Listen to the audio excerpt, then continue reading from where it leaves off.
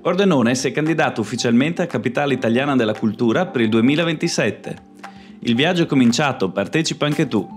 Dal 25 al 27 giugno all'ex convento di San Francesco potrai formulare proposte, idee e suggerimenti progettuali. Pordenone scrive la candidatura. Tre giorni dedicati alla coprogettazione assieme a cittadini, associazioni, imprese e istituzioni, 25, 26 e 27 giugno a Pordenone. Iscriviti online su comune.pordenone.it slash capitale cultura.